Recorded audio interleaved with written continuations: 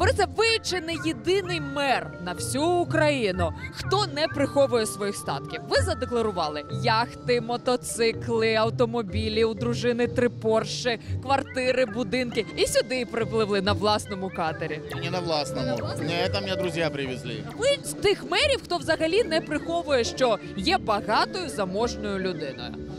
Ну, в принципе, это было давно и неправда.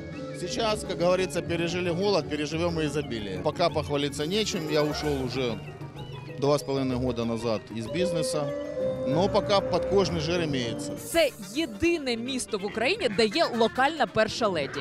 Ви свою дружину називаєте першою леді Дніпра. Вон, ее называют так. вона у вас така дуже гламурна, вона опікується спортом. Гламурно, она просто очень красивая. Вона бігає марафони, бігала марафон у Парижі. А чи долучає вас до спорту? Тому що, ну скажімо так, вона виглядає спортивніше ніж ви. Но я вам скажу так, что она пытается, но у нее не получается. На хорошей работе набрал лишних 20 килограмм.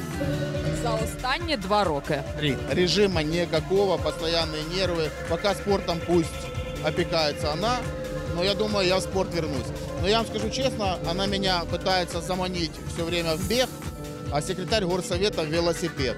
Но если я вернусь в спорт, то я вернусь только в бокс. Бокс Ну, это более практичные вещи. Я, конечно, с мэром Киева соревноваться не получится, но 10 лет я занимался и достаточно успешно. У вас безліч хобі, окрім всього. Ви ще до того, як стати мером, збиралися полетіти в космос. Ну, принаймні, забронювали собі місце, проплатили його. Я прошел в Филадельфии в НАСА базовую подготовку астронавта.